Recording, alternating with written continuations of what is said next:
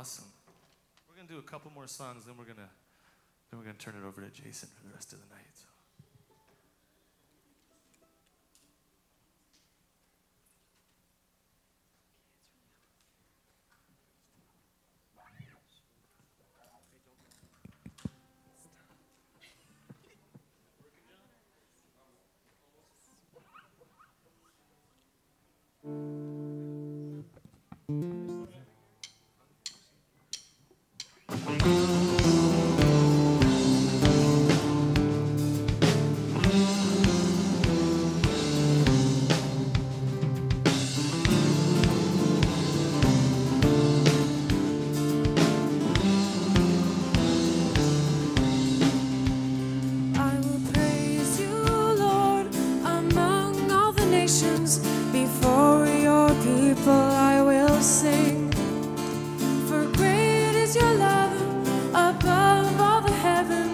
Your faithfulness reaches to the sky.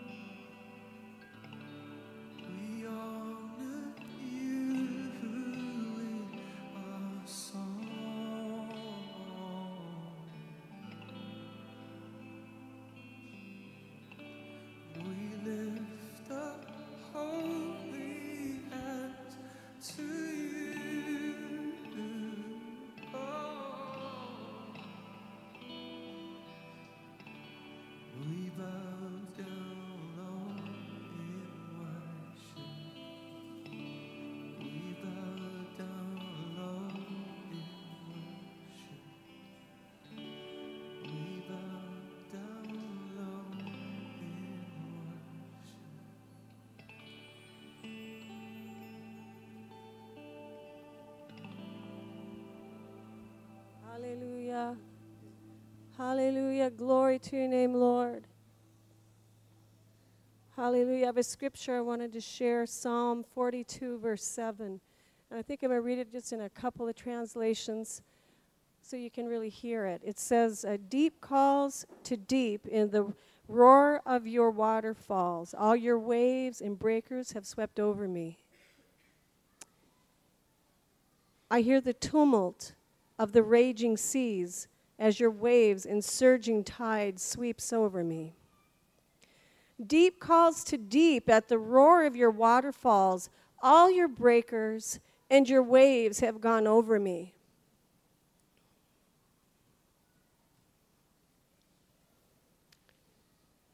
That's just three.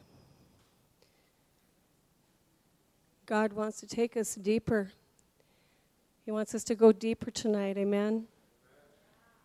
You can feel the sweet presence of the Lord, and there's no, uh, no doubt we have some waves going on out there.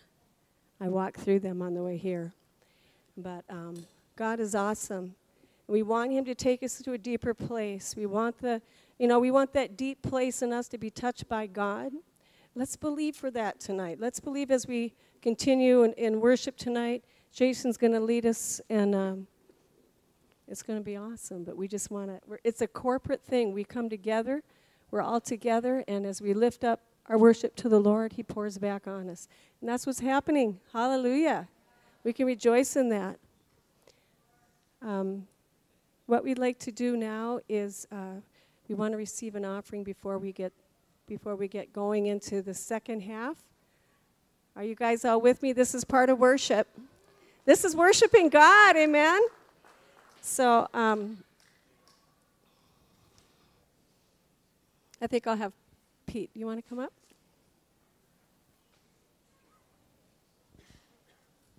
Thank you, Father. Yeah, let's just prepare our offering and we're going to. Jason's going to come up now. Good. Um, you know, it's really difficult sometimes to. it's really difficult sometimes to, to uh, but it's really not like we're stopping anything if we stay, uh, if we just stay in the presence of God and and just continue to worship Him. It's really not that way, but um, I do need to make a, a couple of announcements tonight, and uh, so I just wanted to do that right now before we go into the to the rest of the night. Last night there was just some uh, through Jason, uh, some amazing ministry going on, and prayed for uh, the students at our uh, Levite Praise Institute that we're doing right now uh, for these next uh, couple weeks. Just beginning, just about ready to start the second uh, session, a two-week session. Leonard Jones has been teaching that um, and hosting this school, and just been amazing.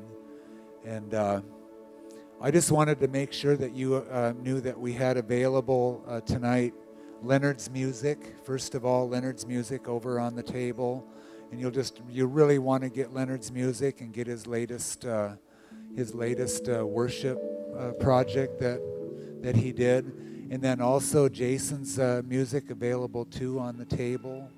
And uh, I just think that you really want this music. Uh, let me rephrase that. You really need this music, you know, and it's just it's it's wonderful, and and uh, so I'm just gonna pray. We're just gonna receive an offering tonight. Um, let's just uh, let's just continue to worship the Lord in our giving tonight. And uh, Lord, I just thank you for the people that you brought. Um, uh, many familiar faces, faces that uh, are unfamiliar. But God, just thank you for bringing us together as brothers and sisters in Christ.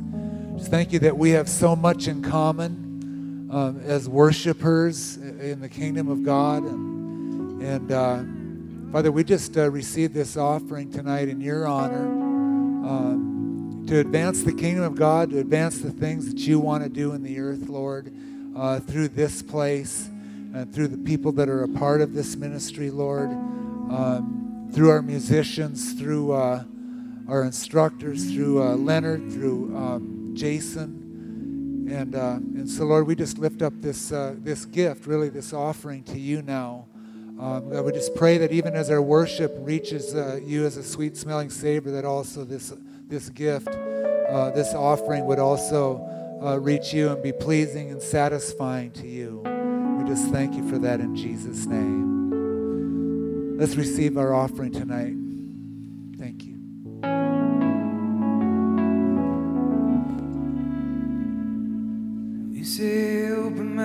My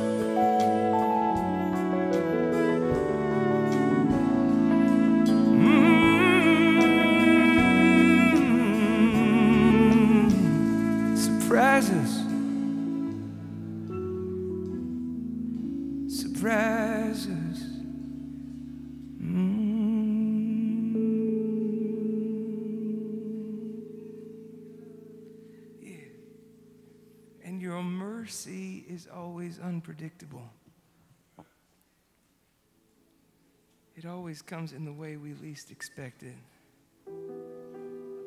Mm-hmm.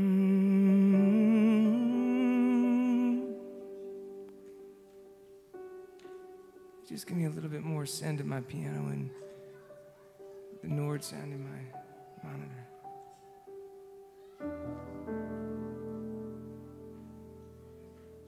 So, Father, we are here.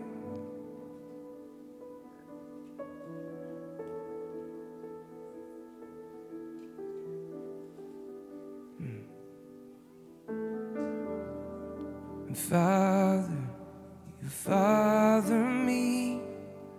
Just say that. Father, you father me. Father, you father me.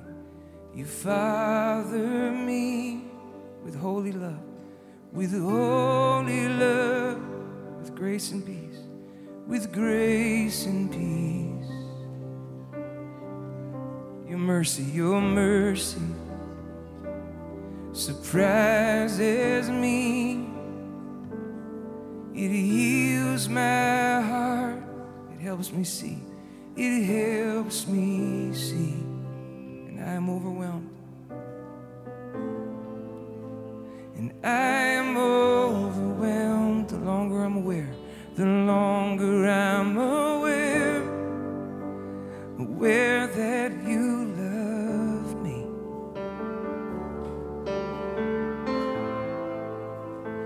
I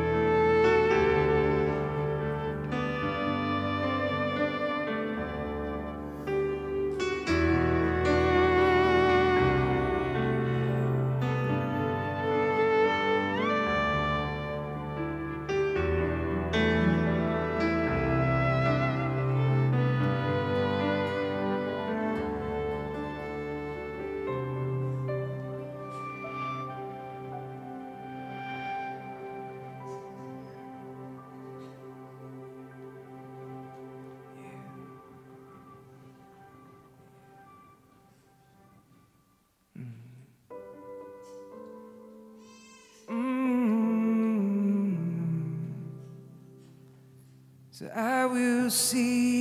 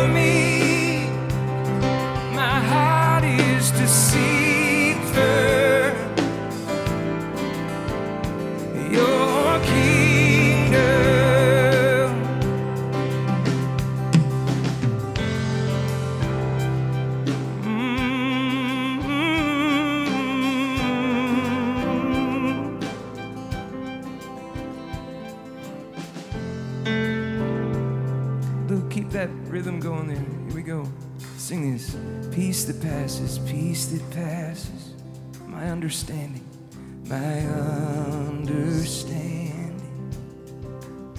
Love that conquers, love that conquers my fear and regret, my fear and regret. Joy unending, eternal pleasure, eternal. presence, in your presence. My risen King, my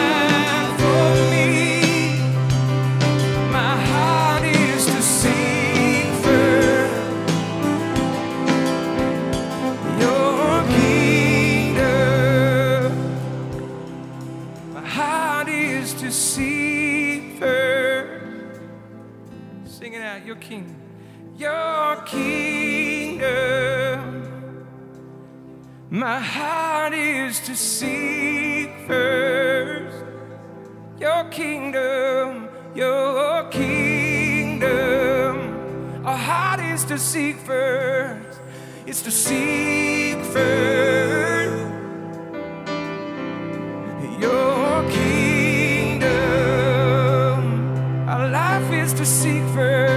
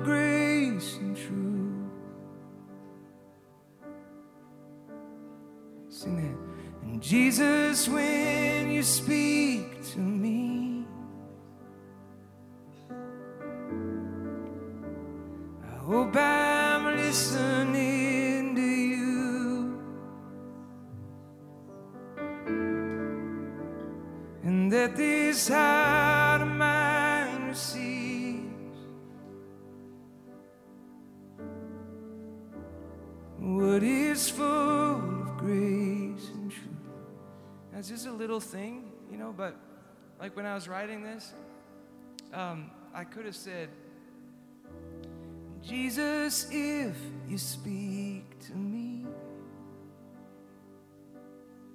But I didn't, and the reason is because some people, that's their theology. But I don't, I just don't live my life as if God has a relationship problem or that God's the one that didn't show up in the garden to walk with us. And we were the ones that just kept showing up, and He just never showed up. I just don't believe that at all. I don't believe that's the story of the Bible. It's not the gospel of the scriptures. The gospel of the scriptures doesn't tell us the great question is where is God? Gospel is, is the great question is where is man? And uh, that's the question. Where are you, Jason? I've come to walk with you. Mm. We're tricky like that, you know, even in our worship, you know what I mean? It's like we, we, we sometimes act toward God like he's Baal or something. Like, have you ever done that in worship where you're singing? I mean, and and you're you kind of if you start asking yourself really what you're singing, you're pretty much singing, God, I hope you come. I hope you'll you'll be present, as if we're like these orphans and God's distant. And we're tricky as humans because what we do is we distance ourselves from God, just like Adam and Eve did. And then this is how crafty we are. We don't even know it sometimes. And then we blame Him for the distance. Instead of looking and watching and waiting. I mean, even creation, just in creation, we can see resurrection and the power of God revealed. There's, there's gospel enough, Paul says, just in creation. The presence of God alone is, you know, the sun came up today. And we're crying out wanting to see the glory.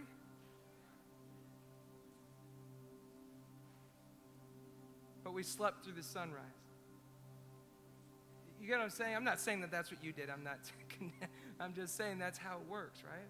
So instead, we just, you know, even when I'm praying for my kids, I don't pray for my kids anymore. God, I really hope you'll, you know, I really ask you, Lord, just to uh, just be with Sam and be with Emma, and you know, I, even that, just flipping it and saying, "Thank you, God, that you're with Samuel and you're with Emma and you're working in their lives and you're and, and, and you're so caring for them.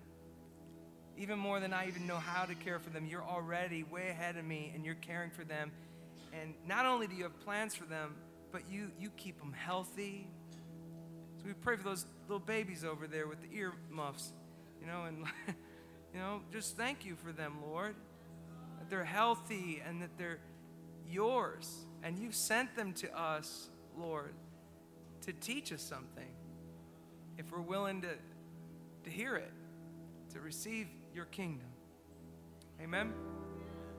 Jesus, when you speak to me, I hope I'm listening to you.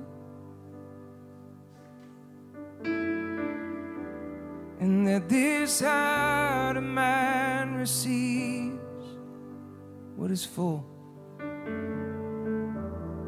what is full of grace and truth. Whisper, whisper, whisper in my ear. Tell me words and tell me words I thought I'd never hear. And show me, show me, show me Illuminate, illuminate what's right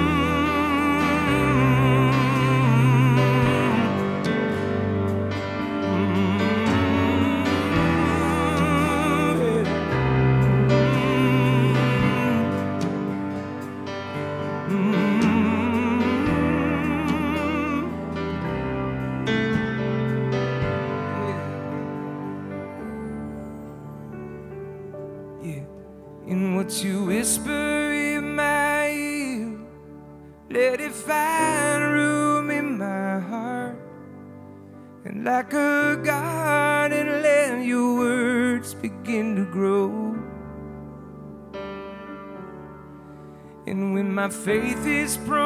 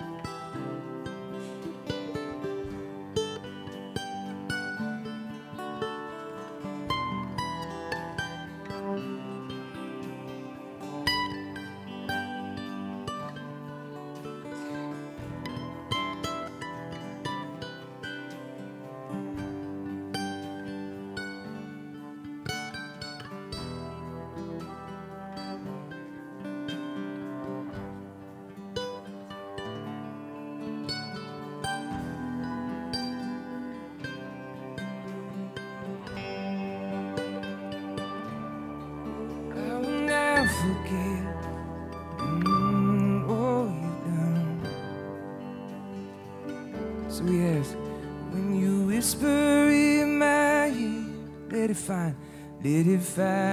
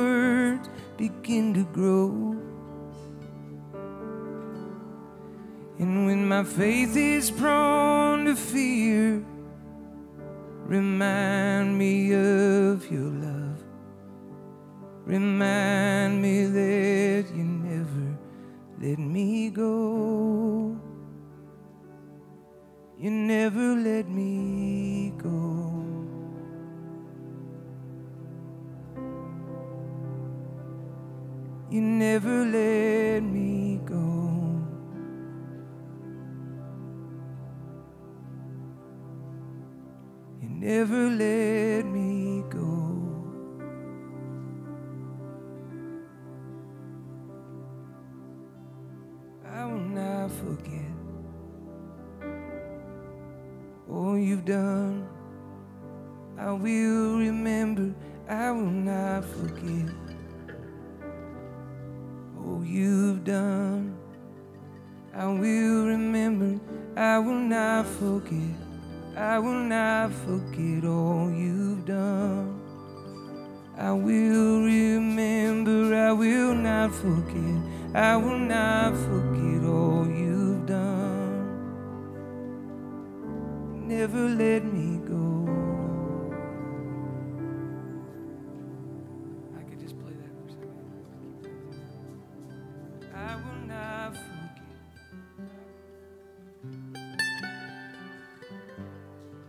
you've done for me. So as the as they're playing, I just I just was thinking about this just for a, a moment to reflect on this, okay? Like the way the way you get to know something is you hold it. You ever notice that? Like like the first time you ever picked up a new iPhone or something. I don't know what it is. That sounds so cheap, you know what I mean? But what, you hold it and you touch it and you just look at it. And, and today, I, I was just on the drive here talking to Rachel. It just popped in my mind. And then as I was singing that, I didn't even, wasn't even connecting it with this. But you never let me go.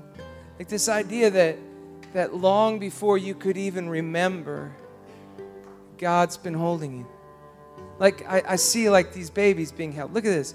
This baby is not going to remember this cognitively, but it's experiencing it nonetheless. Reality is happening to this child by being held. This is this is what's going on with you and me. I mean, it, it, it's it, it's like remembering is you know remember is the greatest commandment in the Old Testament. It's the greatest commandment given. It's spoken more than any other phrase and commandment in the Old Testament. Remember. Remember. I will not forget, I will not forget all you've done. I will not forget, I will not forget all you've done. I will remember, I will not forget, I will not forget all you've done for me. I will, I will not forget, I will not forget all you've done for me. I will not forget, I will not forget all you've done for me. Yeah. I will not forget, I will not forget all you've done for me. I will not forget, I will not forget all you've done for me. I will not forget. That's it. Yeah. So we say this remind me of your love. Just say that. Remind me of your love. Remind me. Remind me of your love. Remind me. Remind me of your love. Yes, remind me. Remind me of your love. Yeah. Remind me of your love. Mm. Remind me of your love. Remind me. Remind me. Remind me. Remind me. Remind me. Remind me. Remind me. Remind me. Remind me. Remind me. Oh, remind me of your love. Remind me. Remind me. Remind me of your love. Yeah. Remind me. Remind me. Remind me of your love. Remind me. Remind me. Remind me of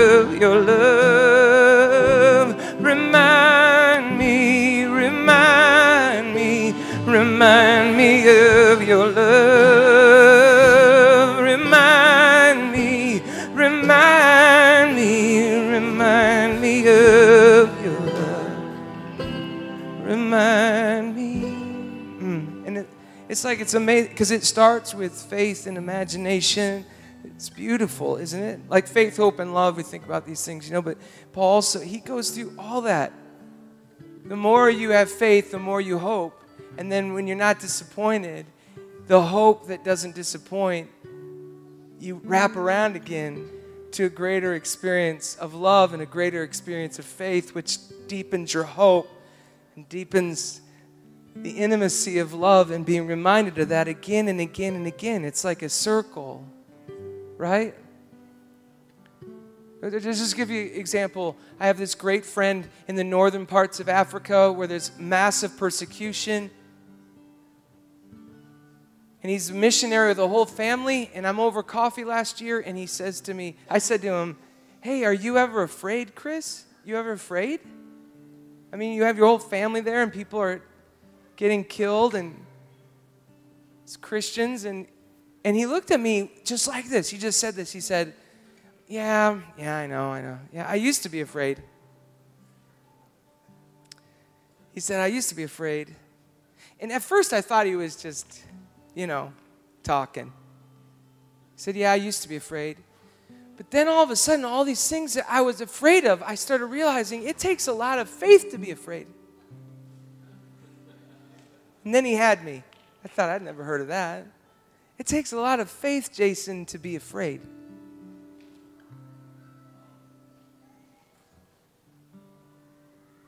So I don't use my faith to fear anymore, Jason. I use my faith to hope.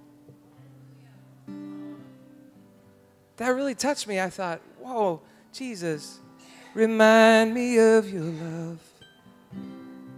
When my faith is prone to fear, remind me of your love. That you never let me go.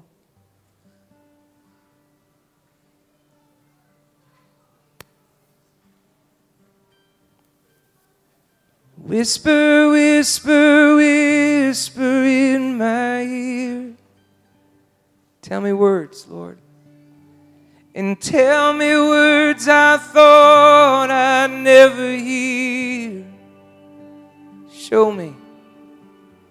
And show me, show me, show me what you see.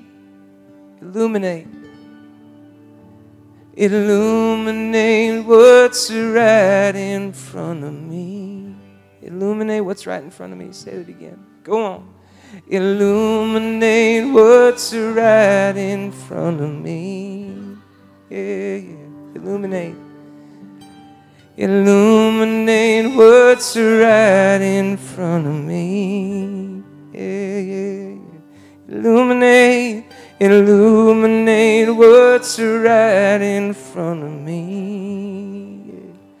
Mm, illuminate what's right in front of me. Open my eyes, open my eyes. Illuminate what's right in front of me.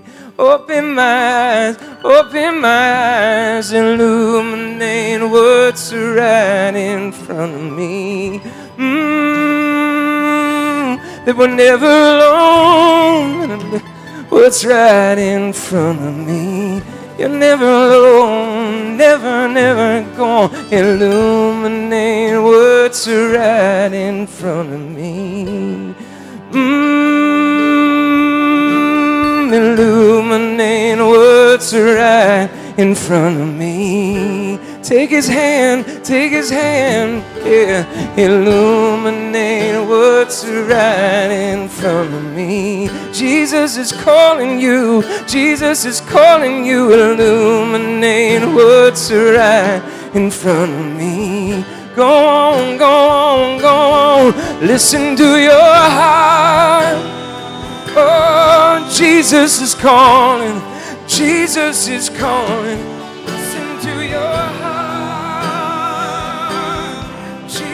Jesus is calling. Jesus is calling. Listen to your heart.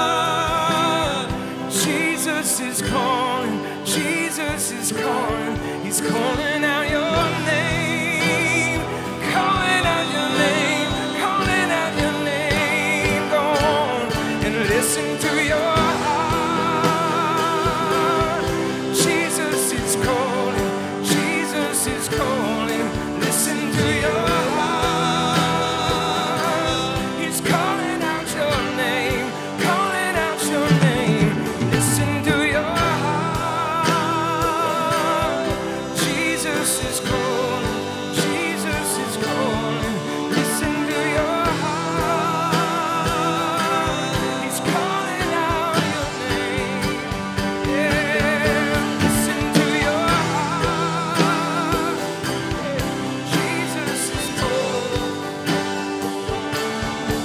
Listen to your heart.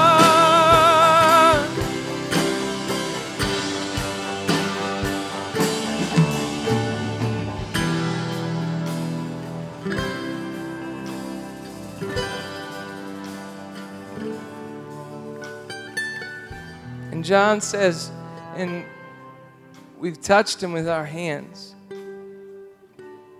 and we've heard him with our ears, and we've seen him with our eyes. This living Jesus. And so we know what we hold. Tonight, take his hand.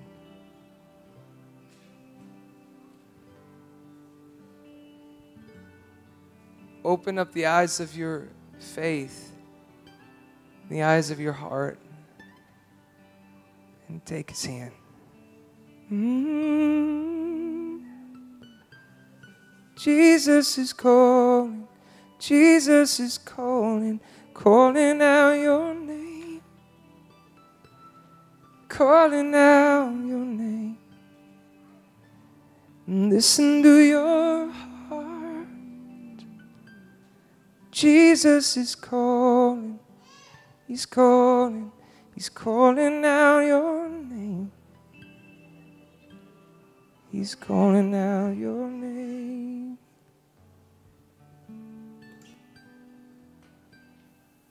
Amen. Mm.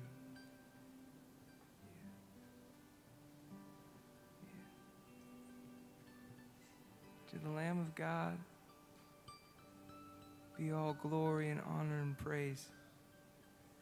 For Jesus is not like an imperial king who doesn't even know your name.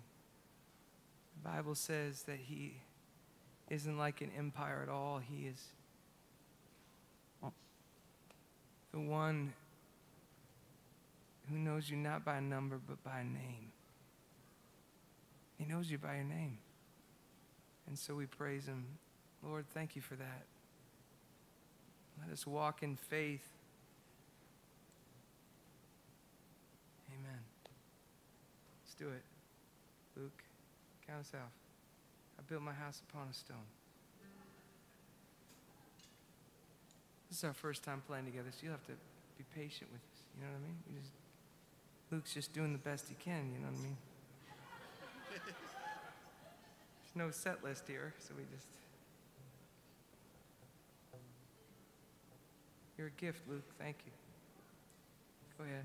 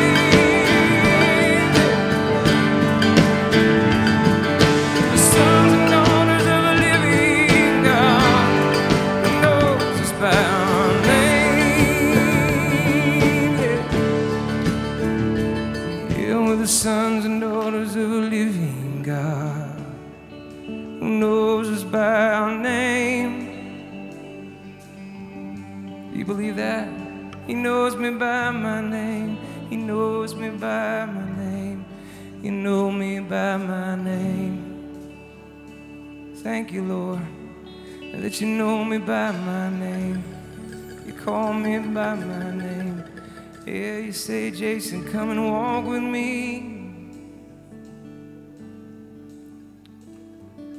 Mm, don't be afraid, don't be afraid. Don't be afraid to walk with me in the place of the unknown.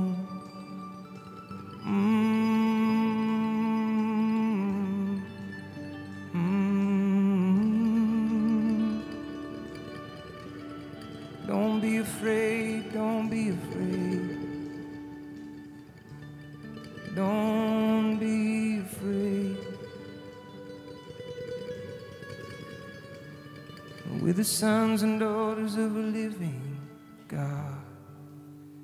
We don't have to be afraid.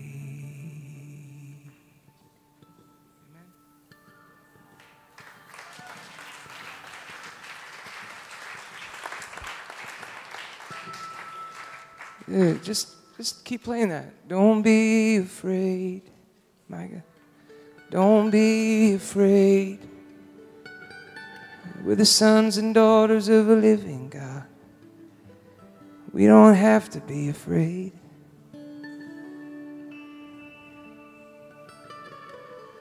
We're the sons and daughters of a living God. We don't have to be afraid. Don't be afraid. Don't be afraid. Don't be afraid. Don't be afraid. Don't be afraid. Do you remember Jesus in the boat? And the wind and the waves are crashing, and Jesus is asleep, and the disciples are mad. And they wake him up and they say, Jesus, I mean, I don't think it was like that, probably like, hey, Jesus, we're going to die. It's probably like, you know, something like that, you know, screaming or something. We're drowning. The waters are crashing. We're terrified. We're scared. We're going to die. And Jesus wakes up and you know, he gives them a little speech and everything, and then he calms the storm. And he talks about their faith. And one day I was reading that, and I couldn't help but think of the parallel passage of the Garden of Gethsemane. And it's the, it's the exact same story, it's just reversed. And, and Jesus is actually experiencing real fear of something eternal that's happening. Something truly prophetic is happening. And Jesus asks his disciples to stay awake, and they can't. It's the exact same story, it's just flipped. And Jesus is the one needing the disciples to stay up for what really matters. And the Lord said to me, He said, Jason, I want you to sleep. See, to be a prophetic generation is not to stay awake to everything else that everybody else is already awake to. See what I'm saying? Like, I think sometimes we think to be a prophetic people that we stay awake for what everybody else is awake for. Like, we turn on CNN and we just get terrified like everybody else. But Jesus, Jesus says, no, no, no. This is what I want you to do. I want you to sleep when I'm sleeping, and I want you to stay awake when I'm awake. And that's not, it's going to be a flip, and you have to learn. You have to be trained. It's like what I told you yesterday. You got to be trained to see the fish and to shoot at it. You have to be trained over time to learn what Jesus sleeps to and what he stays awake for. Right?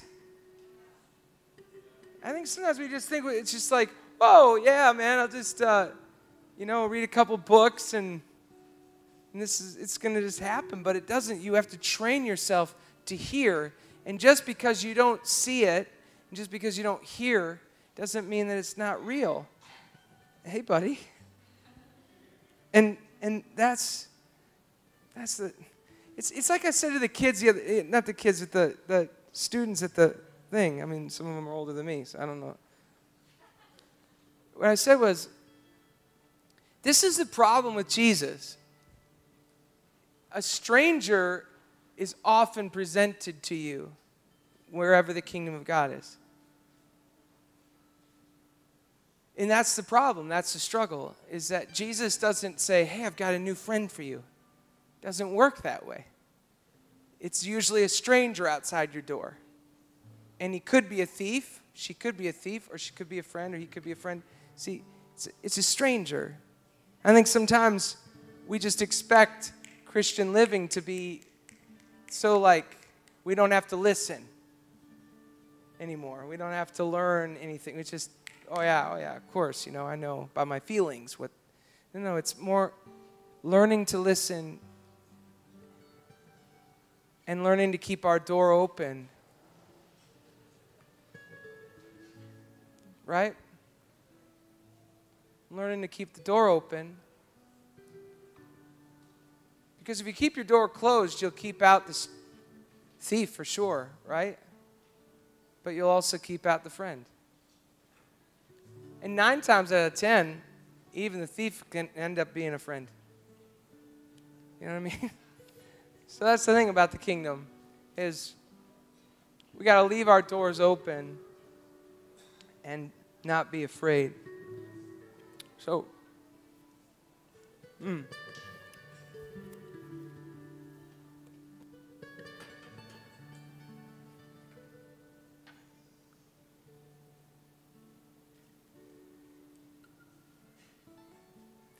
Yeah.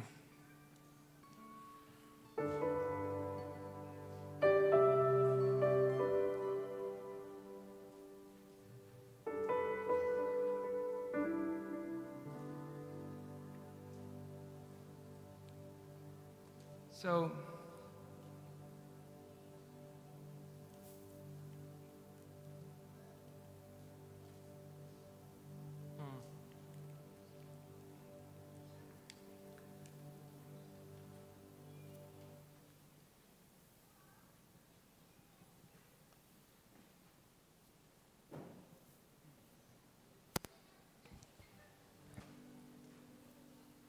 So, there's this uh,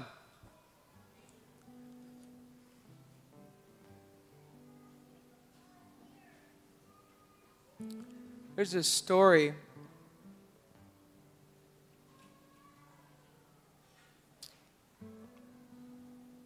of this um,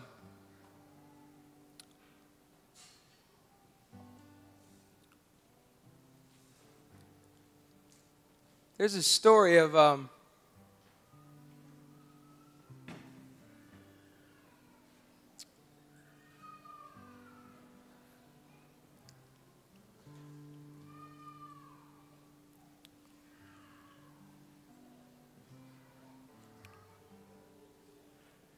there's a story of a man walking down the street in New Zealand, in Australia.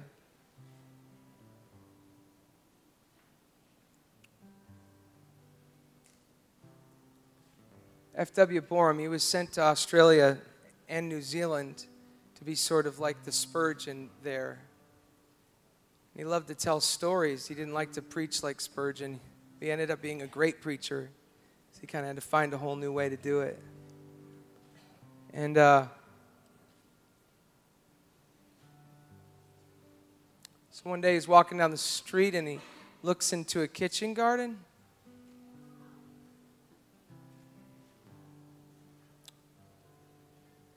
And he uh,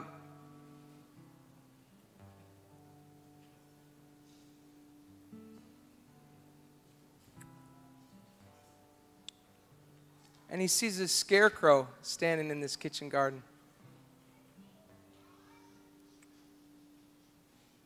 And he looks at the scarecrow.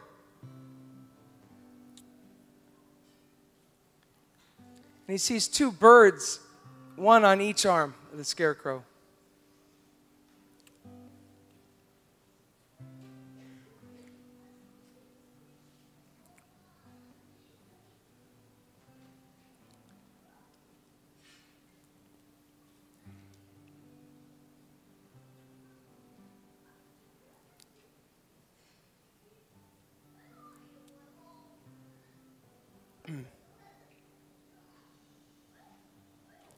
You're wondering why it's taking me so long to tell this story, it's because I expect the children to be walking around. They're fine.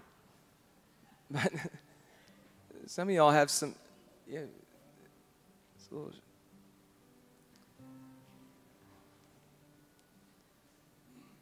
maybe I should just randomly be, you know, walk around. I'm just giving you the story the way that you look. See, just this whole random kind of chaotic. So we can both do this. Okay.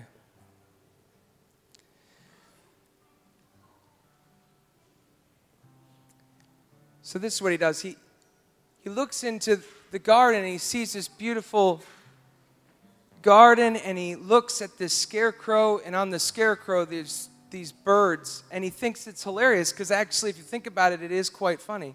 There's two birds on a scarecrow. I mean scarecrows are supposed to scare away birds but the birds don't seem to be that afraid. And so he, he says i'm going to give these birds names. I'm going to name this one bird the foolish bird and i'm going to name this other bird the wise bird. And uh, he says, if I was a foolish bird, well, I'd, every time I'd see a scarecrow, I'd fly away and be afraid. But if I was a wise bird, well, then I would just fly around the streets where I live looking for scarecrows because I'd know if I could just find a scarecrow, then I'd just found a beautiful garden.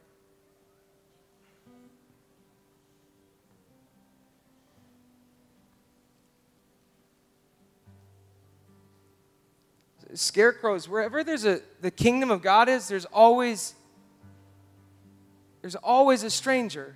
Always. It just doesn't work like oh yeah that's the friend.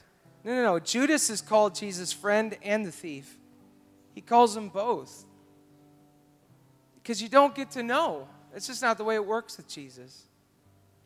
And if you keep your door closed you'll end up keeping probably most of the thief. You might still get thieves anyway. But you definitely lose the friends. The second, whenever the kingdom of God is present, whenever there's something really valuable, there's always a scarecrow. And if you're a foolish bird, you will fly away. But if you're a wise bird, you will look for scarecrows because you know wherever there's a scarecrow, there's a there's a beautiful garden.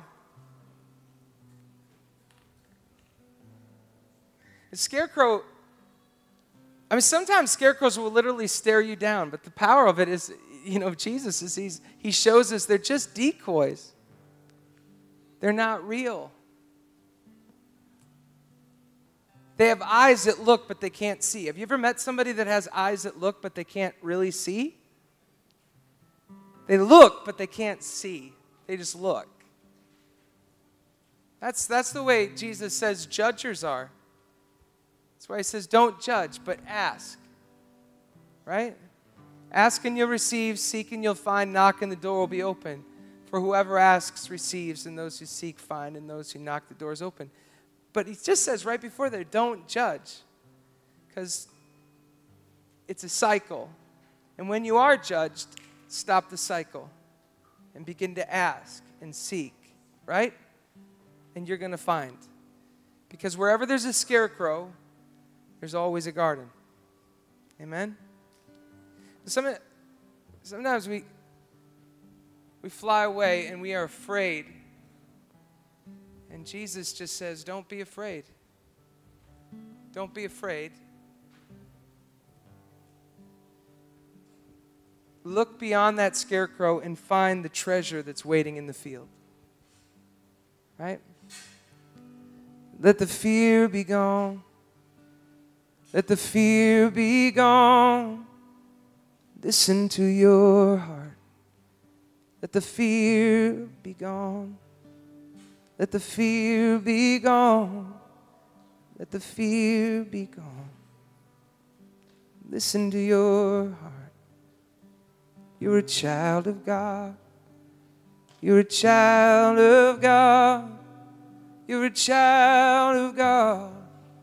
You're a child of God. Say that. I'm a child of God. I'm a child of God.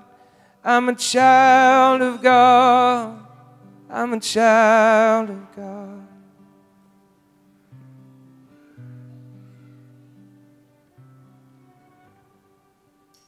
There's a scarecrow. There's a scarecrow standing in a farmer's field.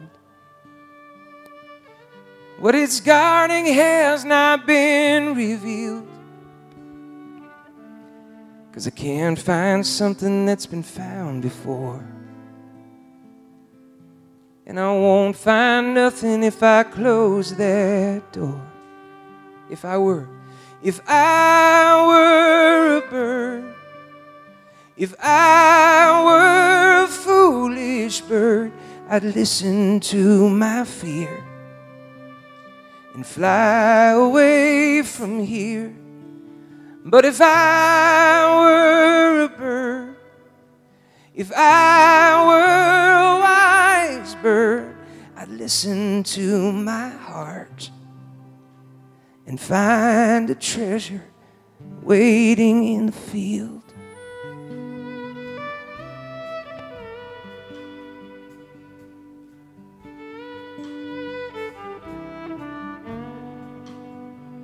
Waiting in the field.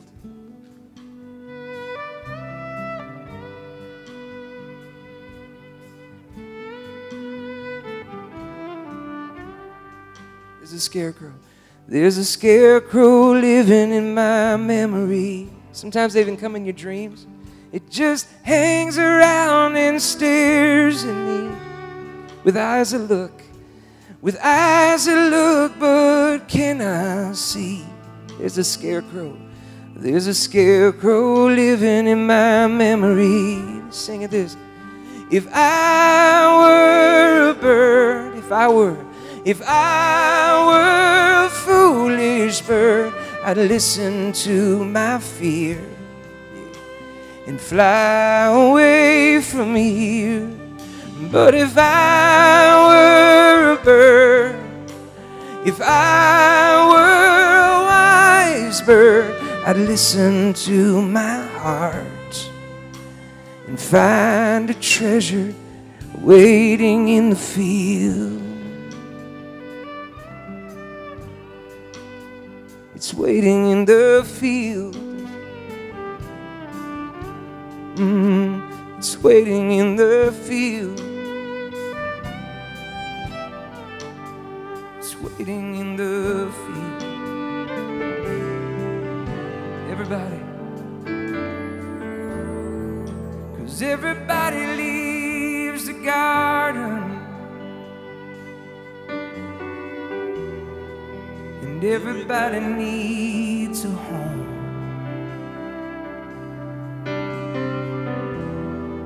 And everybody's scared of dying. But no one, no one wants to roll away the stone. Like everybody's scared of death, but no one wants to teach us how to live because the only people that can really teach us how to live are people that have learned how to die and that there's life after death. So go on and roll away the stone. Because there's a scarecrow. Because there's a scarecrow wherever the church bell rings. It's terrified by the gift she brings.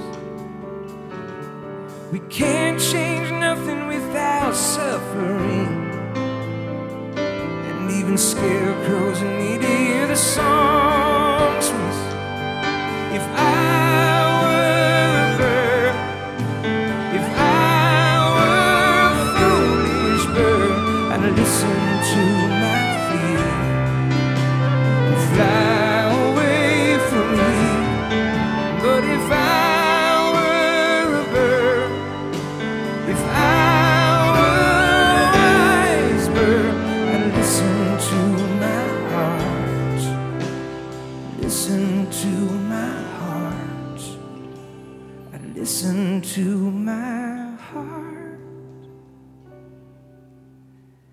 find a treasure waiting in the field. So,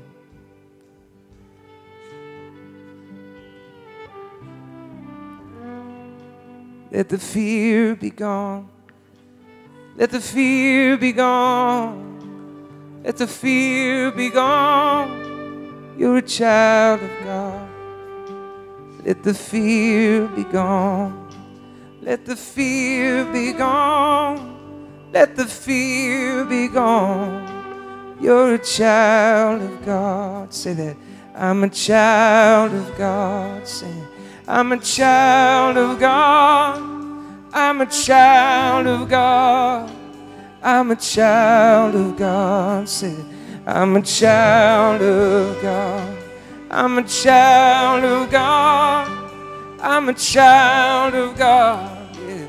I'm a child of God. Sing that. I'm a child of God. I'm a child of God. I'm a child of God. Yeah. I'm a child of God. Yeah. I'm a child of God. I'm a child of God. I'm a child of God. Yeah. Let the fear be gone. Go on, let it go. Let the fear be gone. Let the fear be gone. Let the fear be gone. I'm gonna listen to my heart. Let the fear be gone. Let the fear be gone. Let the fear be gone. Yeah, I'm gonna listen to my heart. Go on. Let the fear be gone. Yeah, let the fear be gone. Let the fear be gone. Yeah, I'm gonna listen to my heart.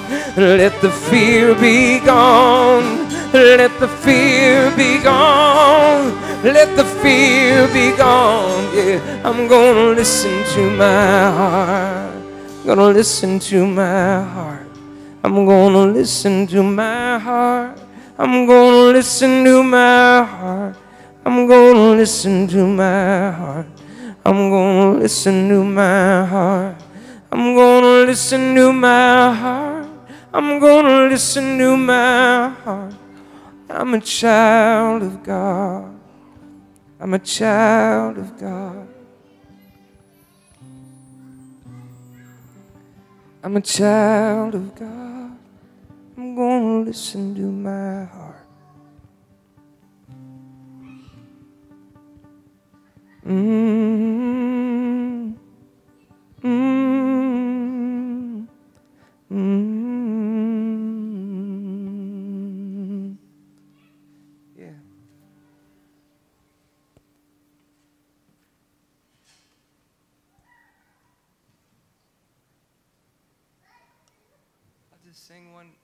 last song over you.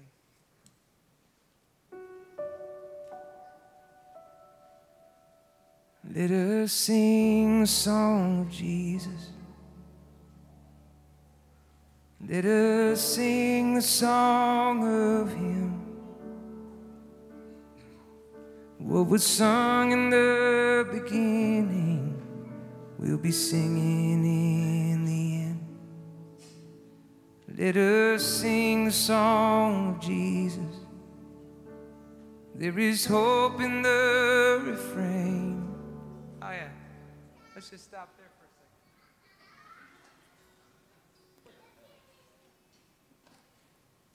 Because we can sing lines all day long and not really believe them.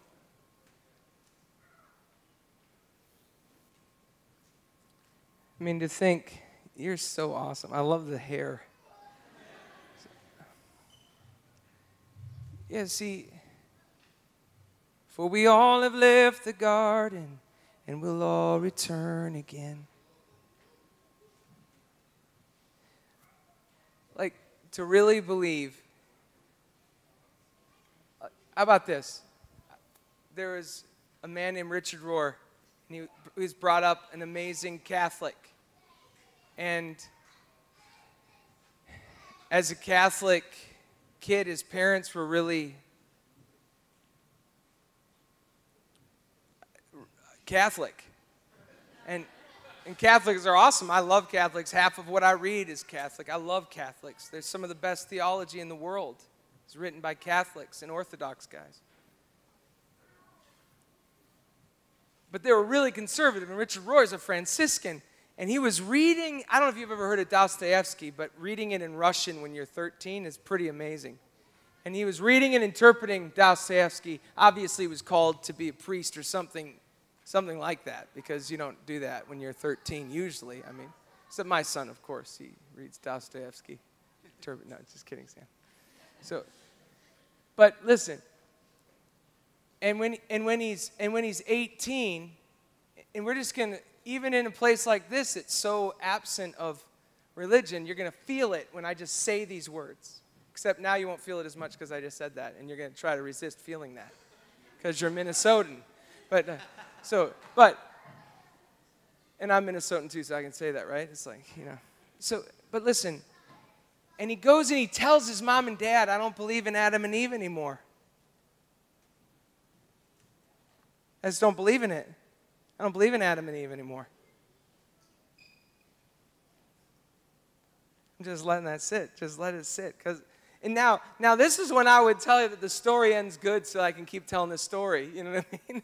and not feel the tension. But see, we, I love tension. Don't you like tension? Jesus loved tension. That's, that's why he said to carry a cross, because it's this it's tension. It's not parallels, it's tension. He allowed things to hold in coincidence, coincidence of opposite things in our lives. Let them sit there in the tension. The church is the only place in the world that there's a hope for that happening.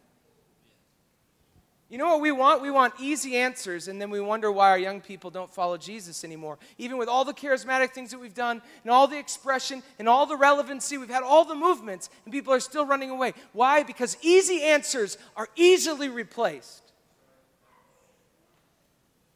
And fundamentalism on all sides, to me, there's no difference between a Muslim, a Christian fundamentalist, a Muslim fundamentalist, and an atheist. An atheist just believes everybody that doesn't think the way they think is, is stupid. And the Christian that says everybody that doesn't think the way I think is going to hell. It's just the same thing. Jesus doesn't call us to be the answer. Your mind is too simple to be the answer. Jesus calls us to lead people to the living, resurrected hand of Jesus. You do not hold the truth, and your image of Jesus is not Jesus. That's tough, isn't it? It's tough for me too. I know it's tough, isn't it? It's just tough that my image of Jesus isn't Jesus. It isn't. Because Jesus is resurrected. That's what makes following Jesus different than all other religions of the world. We do not believe in an ideology. We believe in a living, resurrected Jesus. And easy answers are easily replaced. It's just the way it is. And that's why what you would have died for 12 years ago, most of those things you wouldn't die for now. Just don't, don't live your life climbing up a ladder only to get to the top of it and find out it's facing the wrong wall. Grab hold of the living hand of Jesus. Because Jesus doesn't give us an easy answer, Jesus gives us incarnation. Do you know what that means? He says, I'm here with you. In the midst of your pain, I'm here with you. And when you don't have an answer, I'm here with you. When you're angry, I'm sitting with you, right next to you. And I'm not afraid of you being angry. And I'm not going to try to do the cheap thing and say, well, you really shouldn't be angry. You got to let that go and just be good. No, he'll just sit there with you in the midst of that anger. And he'll say, hey, I'm here with you. I mean, think about the difference between Jesus and, I mean, even me, but most of us, it's a, do, Jesus would just sit with you. And we'd give you the quick answer to fix your problems.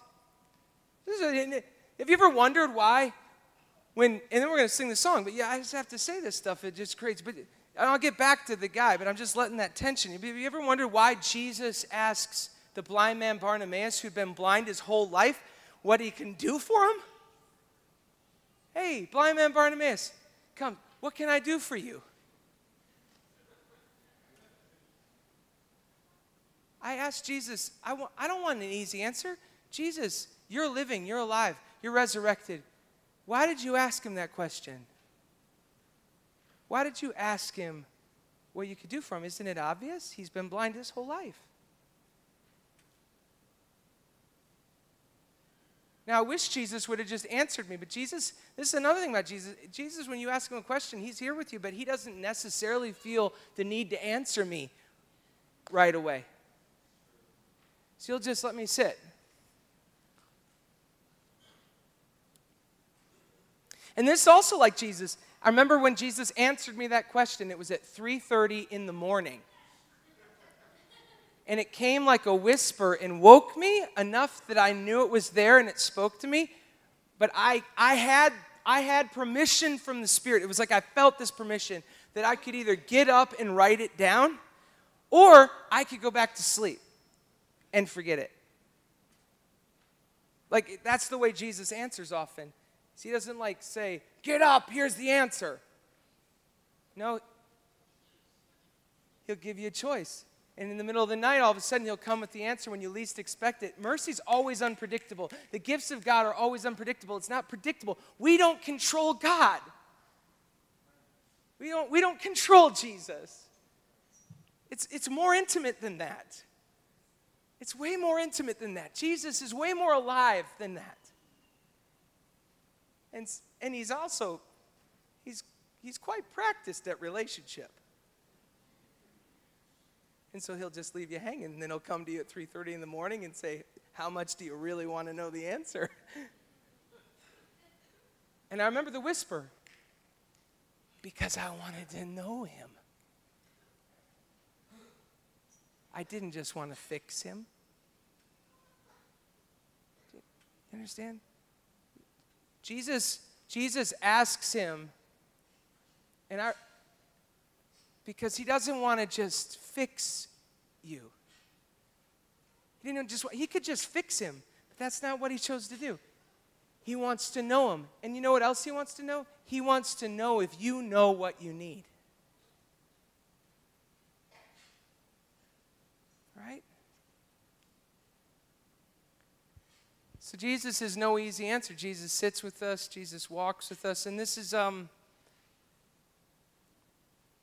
this is what happened to my this Richard Rohr. He, he says, I don't believe in Adam and Eve anymore. His mom flipped out. His parents flipped out. You don't believe in Adam and Eve anymore. What have we done? We failed. And then 25 years later, he says, I believe in Adam and Eve again. Isn't that unbelievable? He says, But now I didn't believe in them in just one little dimension. I believed in them in like 10 different dimensions. Why? Because Jesus is on a journey with you and he's not afraid when you leave the garden. In fact, sometimes he'll push you out of the garden of what you think you know, what you think you comprehend, and all you think you know so that you can gain more dimension to what you really believe. Right? We all left the garden, we all return again. Let me ask you this. I mean, do you think that the life of Jonah is a life of faith when he was running?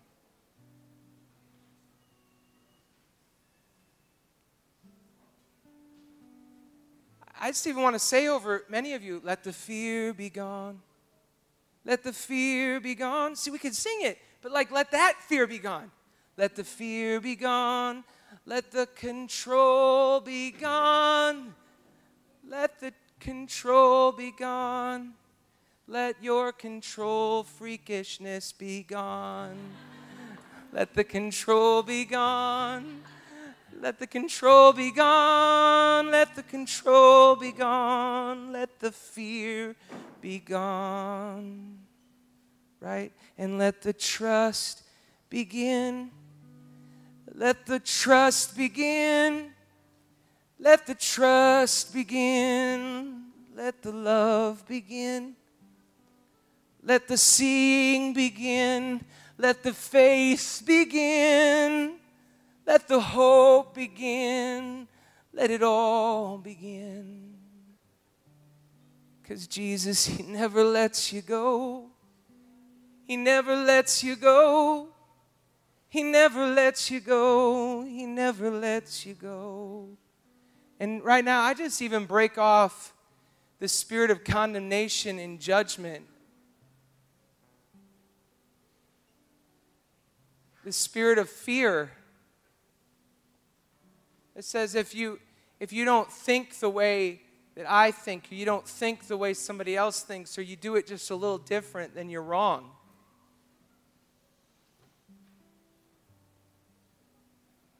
We just declare over you the very freedom of Jesus. Not anarchy, but trust. That's the freedom of Jesus. Trust in your Father in everything, taking His hand and letting Him lead. I'm a child of God. Say that. I'm a child of God. Yeah. I'm a child of God. I'm a child of I'm a child of God. Yes. I'm a child of God. Yeah. I'm a child of God. I'm a child of God. All right, so that's enough. And I'll let you guys go. I'm going to sing this over you, okay? Let us sing the song of Jesus. Let us sing the song of Him. What was sung in the beginning, we'll be singing in the end. Let us sing the song of Jesus. There is hope in the refrain. For we all have left the garden and we'll all return Let us sing the song of Jesus. Let us sing the song of. Let us sing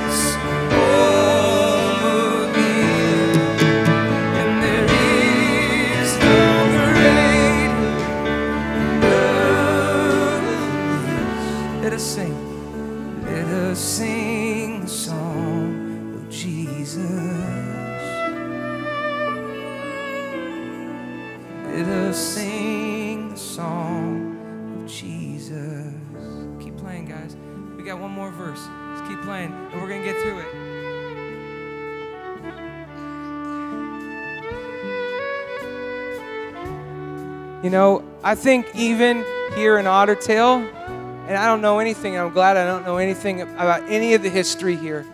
I'm just got here for the first time. I don't know any history. I'm glad I don't. Because now I can say what I have to say. Love does not trap us. Love can hold us close and it can let us go and it can hold us close again. It can let us go and run and leave the garden and it can let us come home again. That's the way real love is. I know because I was raised by somebody that really loved me. And my parents let me go and I come home and I think outside the box and I'm I mean I was adopted by parents that are pretty A to B. And I'm like, woohoo, way out of the box. And my parents just, this is, it's always open.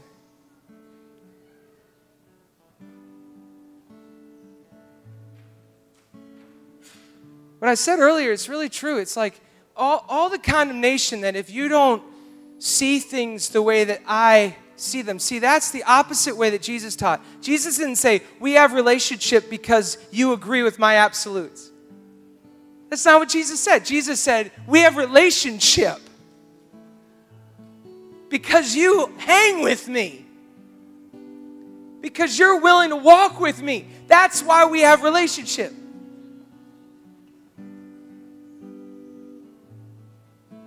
And, and, and I, I just feel like I just want to break off judgments of people who think they know. Like, even in Ottertail, I mean, it's a small place, so I don't even know if it really exists here, you know, and the leadership here is so free.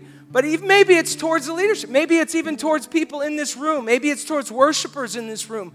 But I, right now, just raise your hands, and I just want to break off of you. Jesus doesn't cut you off. That's not the way the prophetic works. The prophet doesn't cut you off if you don't see it his way. Jesus doesn't cut you off. Jesus lets you go and keeps the door open. You understand the difference? He lets you go. Love lets you go. Love lets you go. Love lets you go and keeps the door open. We break off condemnation and judgment and division. Actually, I want to declare this division is a scarecrow, it's not even real. There is no division in the body of Jesus. I just speak that right now. There's no division in the body of Christ. There's no division. He's not divided. Jesus is whole. The only division that happens is when people won't let their ideas go for the sake of relationship. So, right now, we just declare over Ottertail and we declare over this place and we declare over the leadership and we declare over all the intercessors and the worshipers. May we know, may we experience the living Jesus that can speak to us in a voice that's radically opposed to our own and keep us at the table with people that don't see it the way we see it. Jesus, thank you for the table that's been built here. Thank you, Lord, for the table that's been built here. And we break off condemnation, we break off judgment, we break off the spirit of division, break off the spirit of control.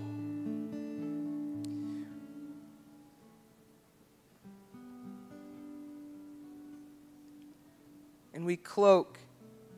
Even the leaders, come on up. Pete, come on. And, and Pam, I just I think, like I said last night about watering the trees, you know, like I think, I think just people that love Pete and Pam, I just want you to come up right now and just start clothing them, just loving on them.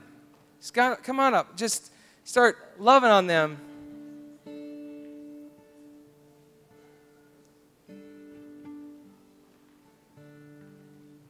And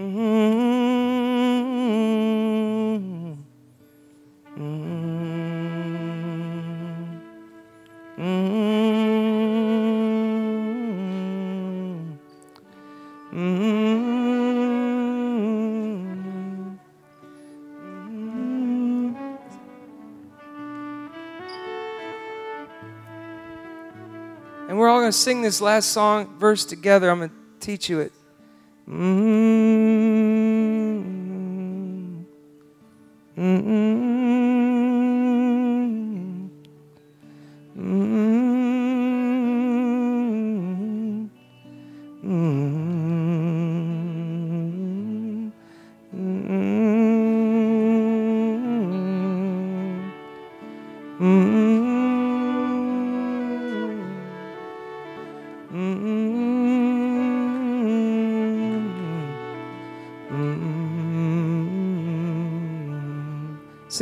Let us sing the song of Jesus. Let us sing the song of Jesus. The song of Jesus. Let us sing. Let us sing the song of Him. The song of Him. And let us sing the song of Jesus. The song of Jesus. Let us sing the song. Let us sing the song of Jesus. Let us sing the song of Jesus. hmm Let us sing the song of Jesus. So we say this. Let us sing the song. Let us sing the song of Jesus. It's a song that will remain. It's a song that will remain. It'll be there in the struggle. It'll push right through the pain. Let us sing the song of Jesus. For eternity lives on through the power, through the power of resurrection and the living Son of God. Let us sing, yeah, and let us sing the song, the song of Jesus, yeah, yeah, and let us sing, yeah, yeah, the song of Him. Let us sing, let us sing the song, the song of Jesus. Let us sing, mm. let us sing the song of Jesus. Mm-mm. Let us sing the song of Jesus.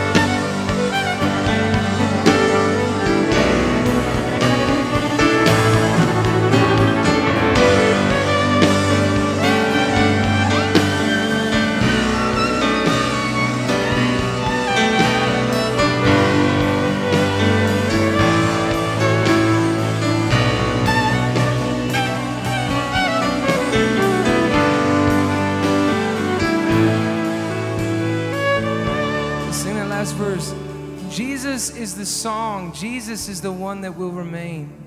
So we say that. Let us sing song of Jesus, because it's a song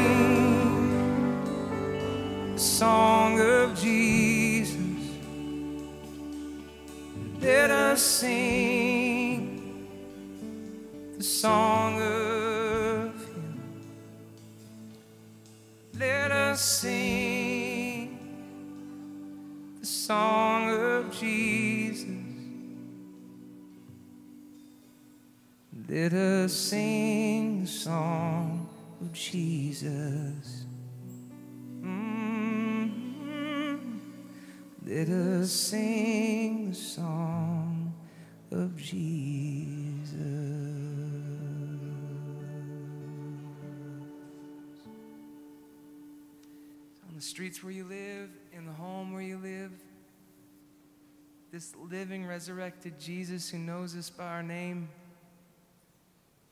My friend James Duke says if you can't see him with your eyes, stop looking with your eyes and start looking with your heart. So, Jesus, open the eyes of our heart, open our ears, awaken our senses. Make us worshipers in spirit and truth, right on the streets where we live, Lord, in homes where we live. Lord, let us use our faith to hope.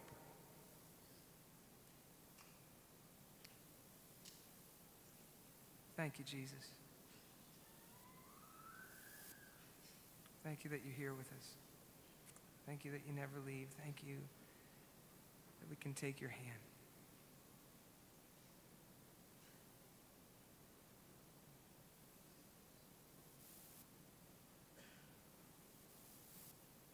Amen.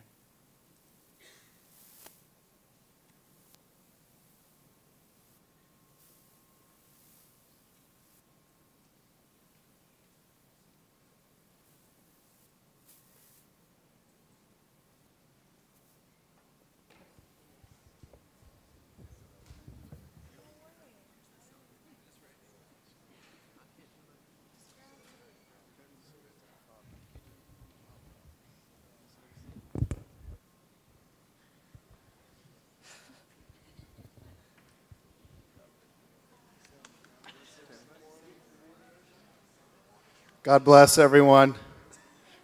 10 a.m. tomorrow morning. Be here for round three of Jason Upton. Amen.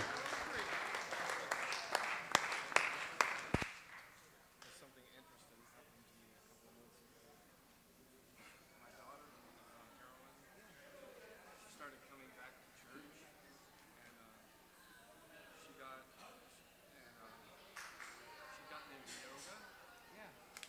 And uh, she got a break. The whole congregation fell asleep. They did yoga exercises while I was worshiping the whole time.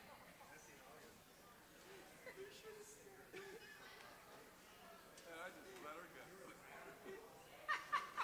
I was like, hey, she she's worshiping the only thing she knows what to do right now. It was really nobody said a word, you know, but you could tell. It was I mean, that- she was doing the whole. Where was it? Where was it? It was a little church close to Morning Star. Oh man, dude, that, that rocks that you just let her.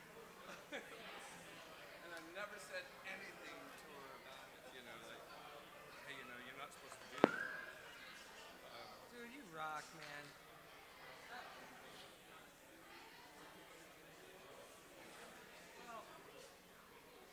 You know, I love this pack, but the 900, not to change subject, is such a carnal, crazy thing that you just took us. What do you like about it? Well, I love this unit with that, but those ears weren't staying in my ears. So then I have those six drivers that